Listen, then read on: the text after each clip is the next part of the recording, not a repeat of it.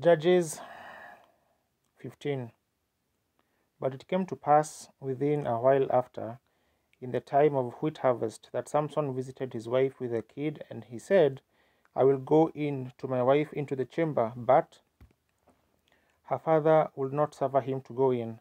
And her father said, I verily thought that thou hadst utterly hated her. Therefore I gave her to thy companion.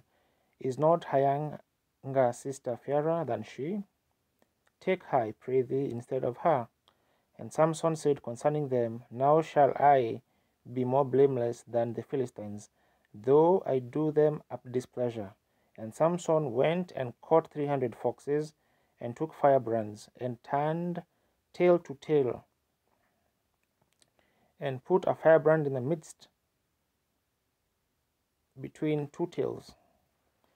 And when he had set the brands on fire, he let them go into the standing corn of the Philistines, and burnt up both the shocks and also the standing corn with the vineyards and olives.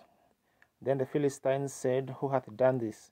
And they answered, Samson, the son in law of the Timnite, because he had taken his wife and given her to his companion. And the Philistines came upon and the Philistine came up and burnt her and her father with fire. And Samson said unto them, Though ye have done this, yet will I be avenged of you, and after that I will cease. And he smote them hip and thigh with a great slaughter, and he went down and dwelt in the top of the rock Etam. Then the Philistines went up and pitched in Judah, and spread themselves in Lehi. And the men of Judah said, Why are ye come up against us? And they answered, To bind Samson are we come up, to do to him as he hath done to us. Then three thousand men of Judah went to the top of the rock Etam, and said to Samson, Knowest thou not that the Philistines are rulers over us? What is this that thou hast done unto us? And he said unto them, As they did unto me, so have I done unto them. And they said unto him, We are come down to bind thee, that we may deliver thee into the hand of the Philistines. And Samson said unto them, Swear unto me that ye will not fall upon me yourselves.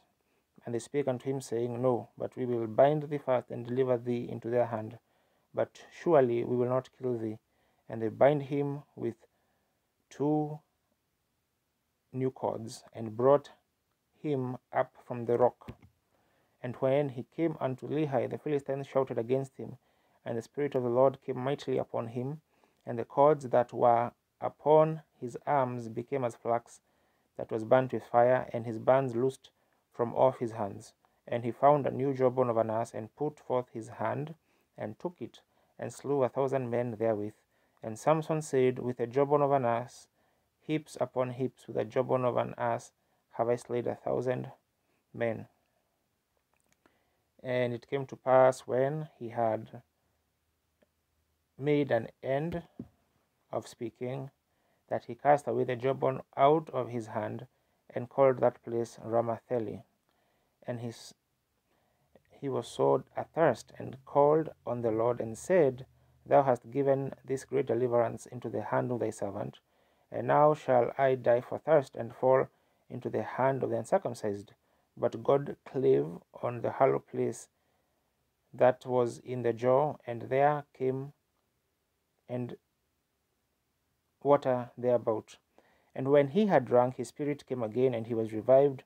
Wherefore he called the name thereof En-hakkore, which is in Lehi unto this day. And he judged Israel in the days of the Philistines twenty years.